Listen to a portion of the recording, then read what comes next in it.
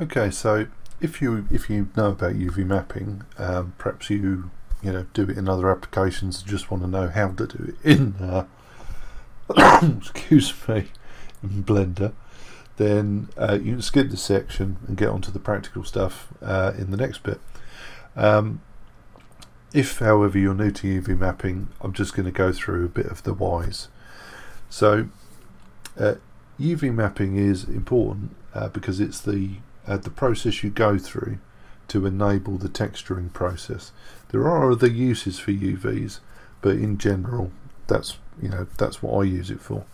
So I've just set up a little demonstration. So I've exported my uh, sword here, and uh, I've imported it into Substance Painter.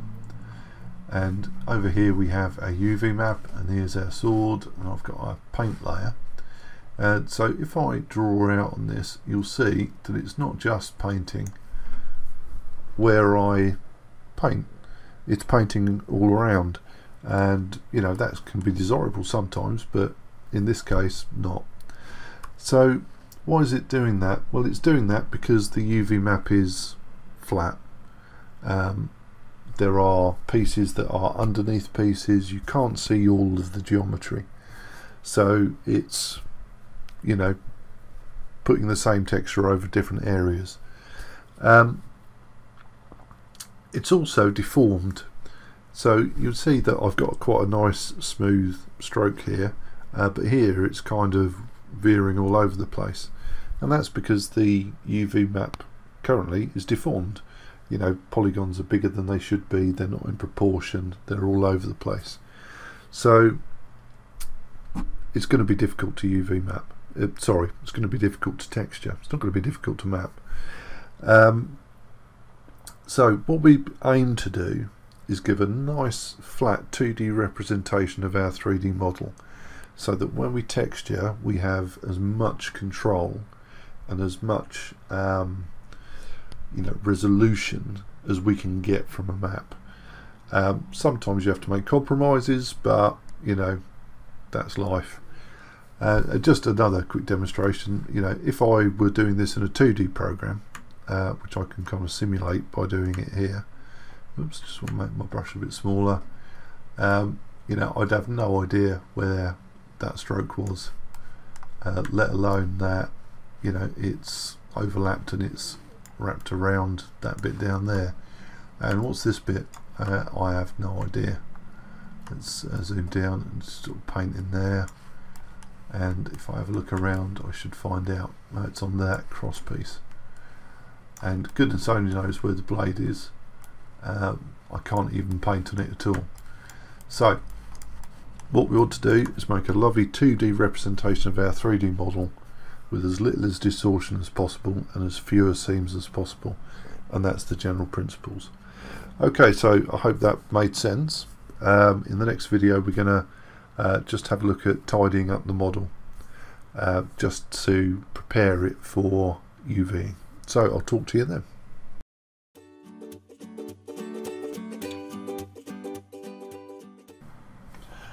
Okay, so we've got our model and um, you now want to go to the UV stage but before I do that uh, I do a bit of an integrity check on the model uh, first of all, I want it to be as kind of low poly as I, I can have it, I guess.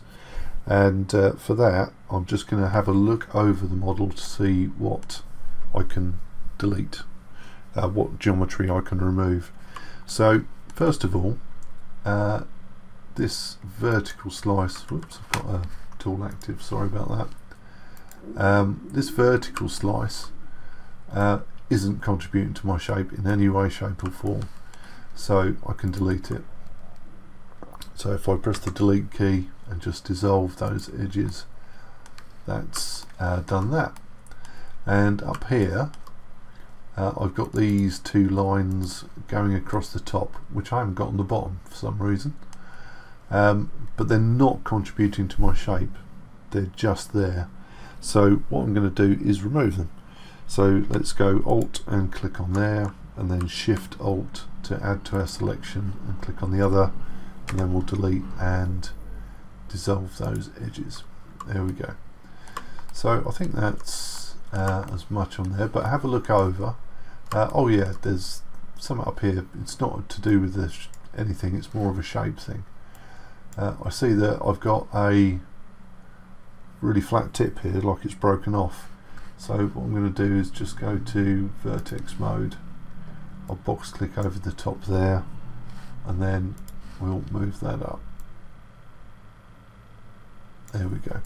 That's a much nicer point. Looks better already. Okay, so that's just done a bit of a tidy up. Uh, but now I like to do a, like a subdivision integrity test. So if you want to subdivide this, uh, which as a texture artist you may well do, uh, to get a nice um, baked normal out of it, um, it's important that it keeps its shape. So what I'm going to do is uh, add a subdivision modifier to this. And as soon as I do that it should show up if I have any issues. And it does. And uh, there's something down here that is just really causing a problem. So let's uh, see if we can examine that I'm going to turn this off so that I uh, can see it a bit better.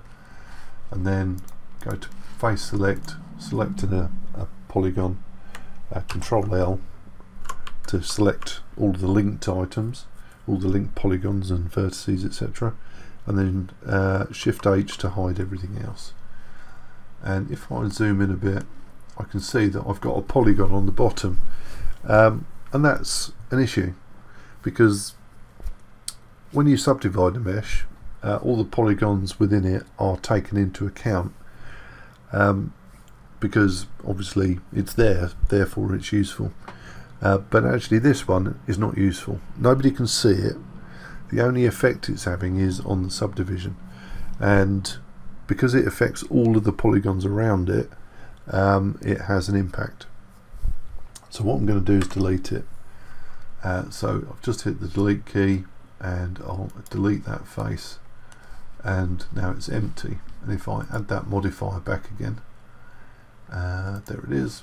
You'll see that it stays where it should. Uh, because it's not affecting anything around it. You know nothing has to be taken into account to you know smooth or subdivide that uh, that edge. Uh, other than that uh, we have this issue on the groove uh, where it's kind of deforming and smushing in. So we'll fix that with a loop cut. So I'm going to click on loop cut over here and then this time I'm going to click and hold my left mouse button and then move my mouse. And that will allow me to slide this edge over. So if I click and hold and then drag it down you'll see that as I drag it down that deformation starts to go away. And that's what we call a brace. So that's bracing the geometry so that it keeps its shape. And uh, if you've let go and you you know you perhaps haven't gone too far far enough you can always use the factor on these uh, here to put it right. So this would be negative 0.999999 let's get it really close you'll see I've, I've still got a little issue there which I do want to correct and all I need for that is a second brace. So I'm going to point at the mesh and an edge and click and hold and drag that down. And the closer I get down there the uh, less deformation we're going to have. So again I can use my uh, factor down here just to push that as far as I can. There we go. Okay. So let's uh, have a look at the top. So the top is really deformed so let's uh, let's do that as well. So I'm going to point at my edge and click hold and drag that up. Whoops something happened there. I think I nudged a key. Let's undo. So click and hold and drag that up until it gets to a point where you're happy. I think somewhere around there. I'm getting like a, a smoothing here of that uh, groove uh, but I'm not too unhappy about that. And I think if I uh, put a loop around here that should do that job. So it's click and hold and then just bring it in. It's not actually doing any uh, anything there. So I'm gonna control Z to undo that. Okay so let's pop another one up there see if it uh, makes it any nicer. I don't think it is.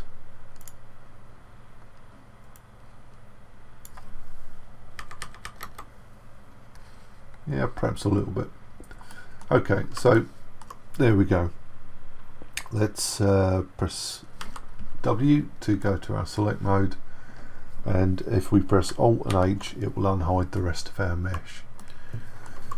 So now uh, I have a sword which you know I've reduced some of the geometry which is terrific uh, and I've also prepped it so that it will you know behave under subdivision um, um, conditions because the last thing we want is it for it to just collapse you know. Um, so yes that's that. Uh, in the next one we're going to start to actually do some UVing um, but I just think it's important to you know be aware that a model might not be perfect when you get it. And sometimes you have to do some adjustments and it's better to do those before you start UVing okay so I will talk to you in the next section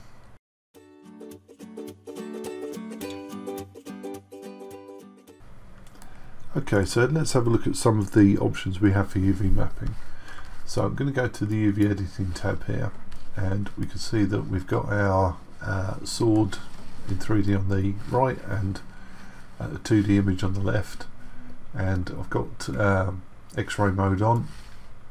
So I've just selected over everything. And that's what my UV map looks like now because I've been tinkering. Um, you might not see that. You'll probably see a, a few blocks. Um, so we have some options here. We can do different things. Um, there are a few methods of UV mapping. So in the right hand view, I'm just going to middle mouse click in there to activate it. I'm going to press the U key. And then we have uh, unwrap, smart unwrap, light, map, uh, light map pack, follow active quads, cube projection, cylindrical projection and spherical projection. So if I start from the top you'll see it looks pretty rubbish because actually um, I've got no seams defined and you know I require seams to do this. So in the options down here uh, we do have a couple of options between angle based and conformal um, but you know we'll get to those a little bit when we start defining seams etc etc at the moment it's just a bit pointless. So uh, other options then if I go to the smart project and I can enter an angle in here I believe the default is somewhere around 30 and click OK. You'll see that it projects everything nice and flat because it's just looking at a view you know looking at it from the front the left the right etc etc calculating angles between faces and giving us a UV and it's uh, it's okay but in this case I don't think it's what I would use because it doesn't look right. Um, something about it isn't quite there. You know I can identify some shapes and I can see that you know that's part of the blade but what are the other parts of the blade uh, I mean we can actually find that out if I go to face mode there and uh, control L. Yeah there it's all the bits of the blade. And it, it's a bit you know it's all over the place. It's not the clearest map in the world. Some models if they're kind of flat and blocky like a cube you know would work well with this. But you know not this kind of thing so let's uh, just select everything again. Oops, middle, not middle mouse, left mouse. There we go. And use U. Um, the light map pack is a special one and not used for texturing. and uh, so let's go down to the cube projection so the cube projection gives me some uh, control down here in terms of how big the cube it's going to use is and that changes the size of overall uh, we have correct aspect, clip to bounds and scale to bounds. Scale to bounds is quite handy, it gets it out. But everything is overlapping itself. You know it kind of looks like the sword um, but actually to texture on this would be really annoying. Because you know things are overlapping I can't see the front and the back at the same time again that's useful sometimes but not in this case. Okay so let's unwrap again. And this time we use the cylindri uh, cylindrical projection.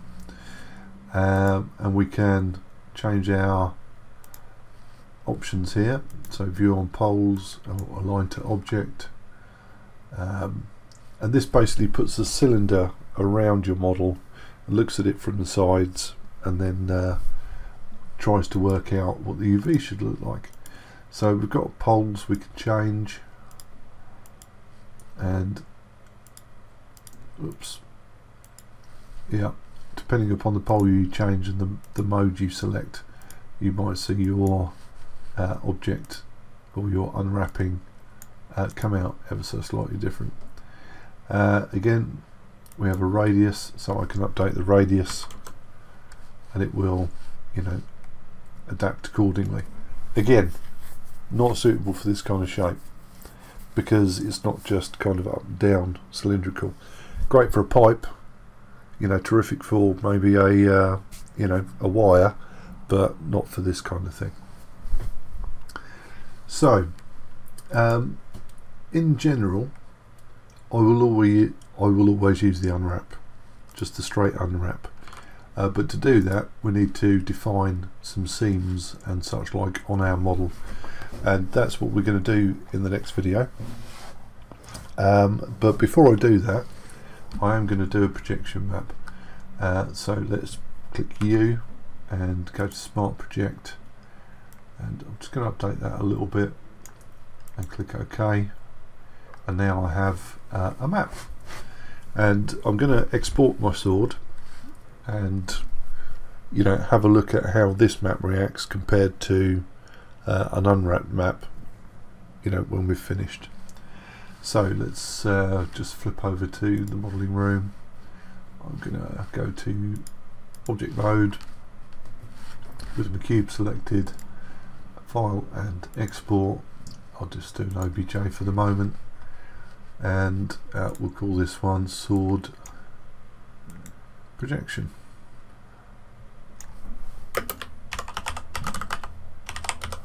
There we go.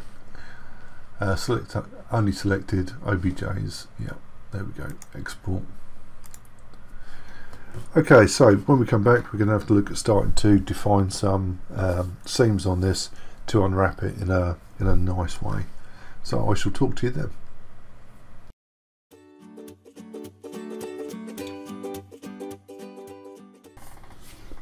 Okay, so uh, as I said, we need to define some seams on this, and we can do this in the model room. And I find it a little bit better because I've got a, a little bit more space to do it. So we're in edit mode, I'm going to select edges and then I'm going to try and uh, select these as easy as, as, as, I can. Selecting is the worst bit in this, especially if you've got an awkward model. Uh, so I've just selected uh, a short edge up the top there and I'll press the full stop key and zoom in and then we'll alt click on the edge that goes right down the middle of the blade. So that's going to be our uh, cut point, our seam. So we'll right click and mark it as a seam. And when you click off to deselect, you should see that that seam is now red, indicating that, well that edge is red, indicating that it's a seam. Okay, so we need some more seams, so let's go and do that. Uh, I need to cut my pommel uh, piece kind of uh, on the front and the back. So it's Alt and then Shift Alt right click and mark seam, not sharp. There we go.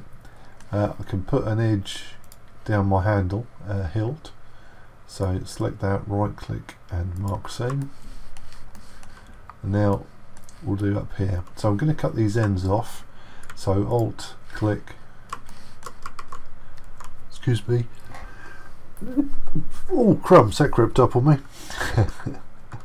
Um, and then uh, we use shift alt click over here to add to our selection.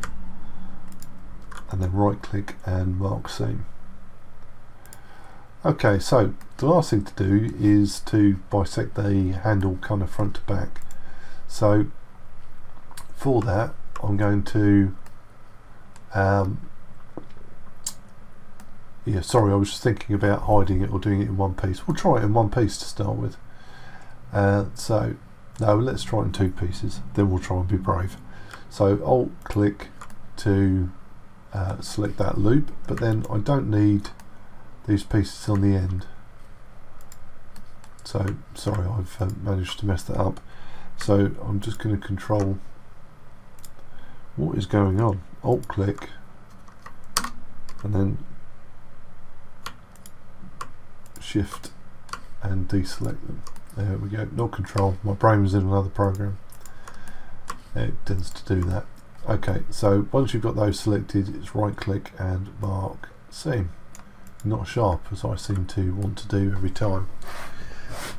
Okay what else do we need to do? So we've done that we've done that. Uh, we need to split our pommel uh, now normally I would put these in the most inaccessible place uh, but for this uh, I'm going to put it I would normally put it on the bottom because that's where it's going to be most hidden. Uh, but actually up here it's mo it, most of it's obscured by the handle. So I'm going to select those two across there and mark those as a seam. Okay so now we can go back to our UV editing room and I've got uh, x-ray mode on. Go to face mode or face select mode. And it won't let me select anything which is lovely. Um, what's going on with that? Ah no it will just a glitch. Hmm. Okay so I'll click L to select all of the blade. And then we'll unwrap. So it's uh, U and unwrap. And now we get something that looks like a blade. So let's uh, repeat that on the other pieces. Um, so let's click off select a bit click L to select everything. And then whoops you can right click and unwrap or you could press U and unwrap uh, so that's not too bad. Uh, so let's select the handle right click and unwrap and let's select the uh, pommel piece. Oops press the wrong button. Uh, so it's L. No I keep pressing K. There we go and unwrap. Now you might have noticed while we were doing this that there is all sorts of stuff going on here uh, that doesn't look right. So let's uh, just unwrap this. So right click unwrap. So everything's a little bit deformed. If I press uh, alt and H now and that will show me everything you can see that you know the blade is too wide compared to its height. You know the circular bits are not right. And there's a reason for that um, that's because there is some weird scaling in my object. So to correct that I'm just going to go to object mode and uh, open up my little tab here with the N key. And under scale you'll see these aren't set to 1 it means that somewhere along the line I've scaled it and it, it's representing those scales if I set this back to 1 um, it's going to deform and not look right. But what we need to do is just apply that scaling. We're essentially going to reset the scaling to be 1 the dimensions won't change but these will all be 1 and this is currently applying to our UV mapping which is making it look weird. So with the object selected, under the object menu we have apply and then location, rotation, scale. Obviously rotation and location are fine. Uh, so it's object, apply, scale. And you'll see that resets to 1. And now if we go to edit mode again and uh, with all our pieces selected we can right click and unwrap and now they look like proper shapes you know they look like they're a part of this model. They look representative of you know what you're looking at. So uh, now we've got our UV map essentially but it's all over the place and it's not scaled it's all rotated right? So we'll correct that in the next video. So I'll talk to you then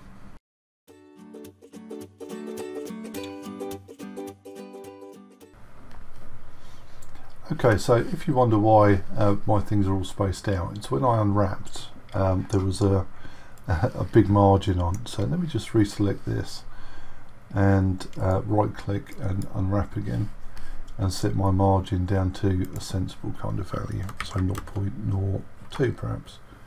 Now it's a bit small, 0.05. There we go. Okay, so now it at least you know looks like a UV map and is in the right kind of space um, but you know we have some rotations and we have some uh, other things to fix. So first of all I'm just going to select over here to select this blade and I'm going to rotate it. Whoops. So if I hit the rotate option there I can grab my little handle and rotate it round. And when it when I stop it will give me a little pop-up and uh, give me the option to type in the angle. So that's good. And what else do we want to do? Well, let's just move that out of the way for the moment. Just pop that over there. Uh, we have some things that we could consider uh, joining together.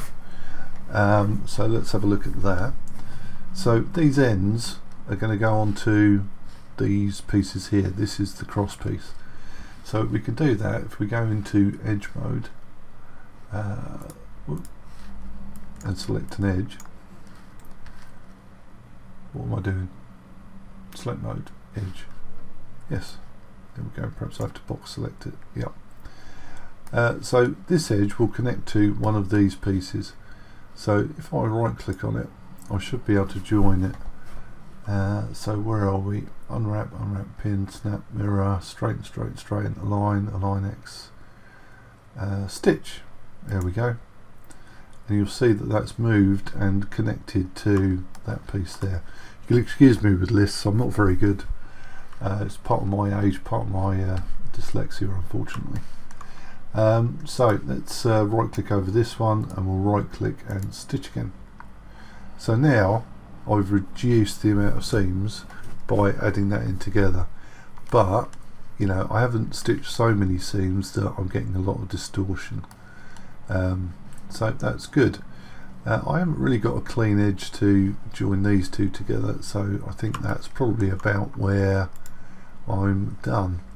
The only thing I might do is this long strip here, if I use control, control plus to extend my selection, belongs to these two um, and it's kind of a matter of judgment really as to whether you want this vertical or horizontal. I'm going to go horizontal. So let's go on to our rotate tool. There we go, somewhere about there, let go and just, oh I was so close, uh, and just type in 90. Okay, so that's a, kind of got them oriented in a, in a good way, uh, but now I want to actually fit them into this area, the 0, 1 space UV. So I'll just select over them, right click, and uh, somewhere we have pack. Actually, it's not on our right click, it's up here. So it's UV, and then I'm going to have trouble with this. going to have trouble with the menu again. Trouble seeing it. I know it's here. There we go. Pack islands. Um, so that's packed them but it has also done a rotate and I don't want it to. Uh, I want it to be how I how I set it. Uh, because you know I have an idea of how I want that to be. Um, you can leave it on rotate, that's fine, it will rotate things consistently, um, but I tend not to do it. Uh, so I've got uh, quite a nice margin set there, everything's separated out a little bit, and uh, yeah, that's good. So we have a UV, and you know, it's identifiable. You know, I can see which pieces are which. Um, it's quite neat you know I could texture this 2D or 3D um, I prefer to do it 3D because I'm rubbish at 2D um, and we're ready to have a look so we'll do a finishing off video where we'll compare our uh, projected uh, exported one to this UV one. So what we'll do first is just UV this as not UV it I've already done that. Export this out. So let's go file export wavefront object and this one we'll call uh, unwrapped. There we go. Let's export that out and when we come back in the next video we'll have a look at how these behave uh, when we try to texture them. So I will talk to you then.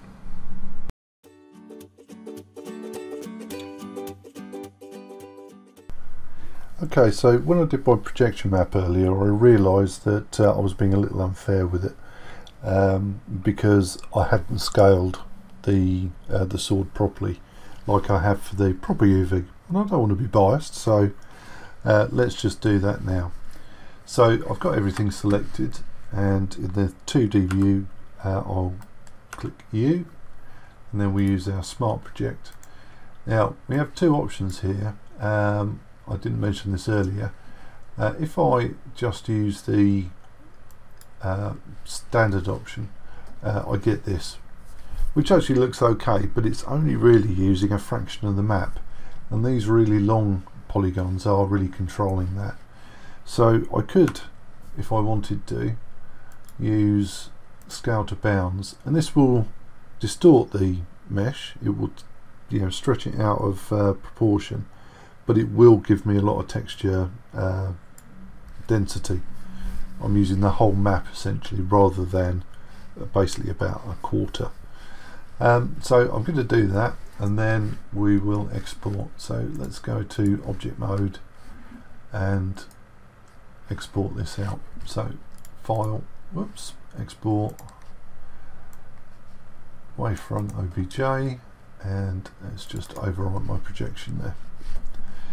Okay, so now we can go into Substance and have a look at see what's going on. So if I file and new, whoops, not open, file and new, I'm going to select my projection first and then click OK. Just going to leave it at 1024 for demonstration purposes. Now, what I want it to have, or what I would prefer to have, is as few seams as possible and for the map to be recognisable. Uh, I've compromised on the scale for this for the distortion but you know to get good resolution out of this I, I kind of have to do that. Um, so we should already be in a better position than we were if I turn off these channels and give myself a colour. I should be able to paint on my sword without it painting all over the place as we did uh, earlier. And if I paint down there I see I'm going across islands. Uh, that's not a problem with the 3D um, painting program um, but you know I don't really know. I you know I have no connection to this map. I don't it would take me too long to examine it to figure out what's what exactly what everything is at, at least. Uh, but it's okay you know it's not too bad. We could use it. Um, I, I wouldn't use it to do 2D mapping uh, but for 3D yeah not too bad. Um, however there are some things which will uh, limit me on this. And I'm just going to undo to get rid of all that painting. So if I project a, an image onto this uh, which will do with a fill layer go to my textures and I've got a colour one down here this camo. I'll drag and drop that. Whoops. Let's open up my channels first into my base colour. And that is projecting then onto there. And I can move this around. And you see as I move it around it's moving weirdly because my islands are not connected. And you know that's always going to be the case. Now you can get around that uh, by simply switching it to a triplanar projection now I can't really move it but I can move it in the 3D view. But as I move it around you'll see it's you know it's all moving consistently. So not the end of the world by any means but you know it's a again a, a bit of a compromise. Okay so uh, what else have we got? Let's delete that and pop another layer in. And on this layer I'm just going to add a generator and then just turn everything off except color so on the generator I'm going to use a UV border map and then we're going to tighten it up by reducing the balance and increasing the contrast. And now I can see where all my seams are. And you know the plane's not actually too bad. Uh, there are some seams that I prefer definitely not to have.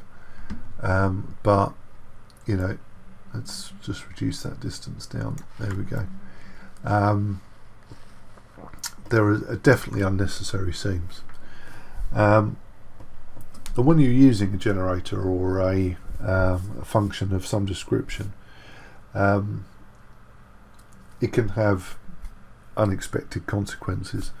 Um, if you're, you know, if you don't get it right, you can end up with visible seams, and you know, I really, really, really prefer not to have any kind of visible seam.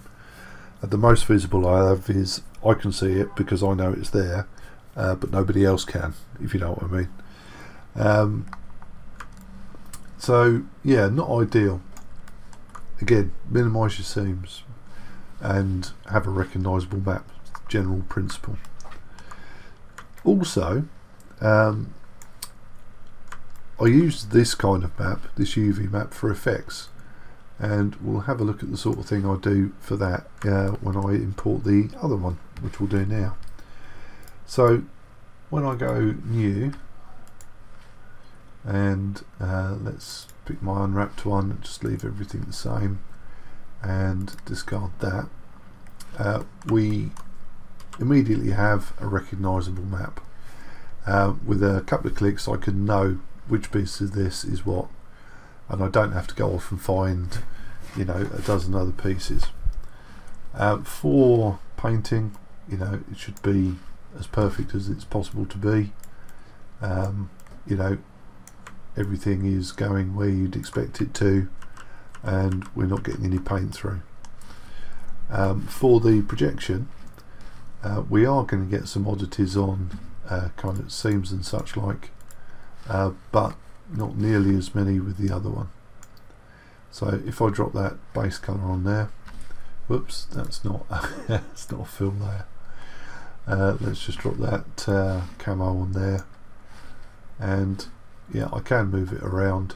And it is moving in different directions in certain places but on the blade you'll see it looks very consistent.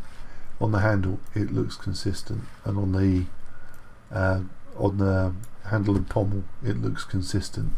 It's not like the other one where things were going kind of all over the place all over the model. And that's in UV projection mode. Uh, sorry I should have that in fill mode. Um, sorry. No that is in UV projection mode which is as I should have it. I don't have to go to a triplanar mode uh, to get that sort of consistency. I can use a triplanar mode but it's uh, an option not a necessity. Um, but more importantly uh, for me personally is if I do our um, UV border in here so let's add this generator in and oops turn off all the channels and then give it a bit of an adjustment. So I'll take that right down I'll take the contrast right up see I have very few seams. I have seams that is true but you know they're controlled and I know them.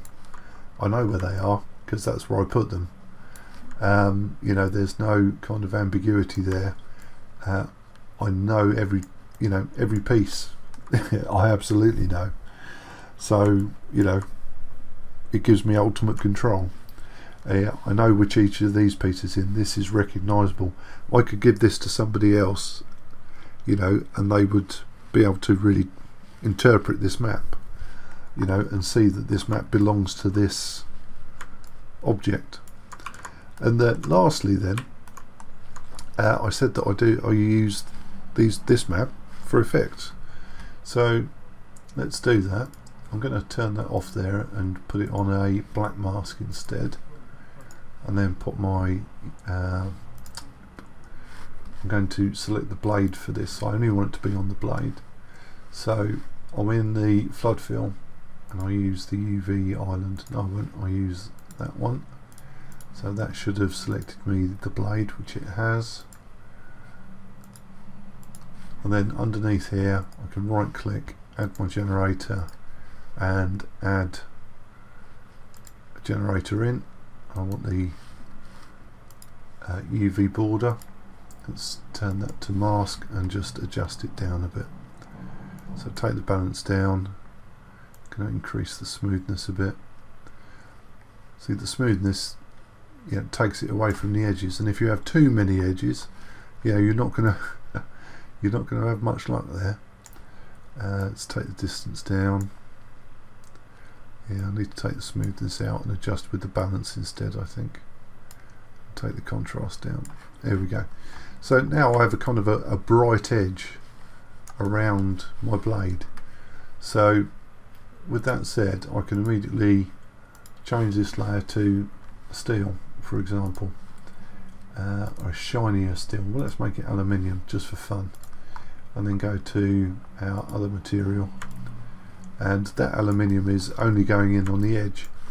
And below that if I put uh, say steel where's steel gone? I know it's here I'm having trouble with things. Yeah steel rough if I drag and drop that below it.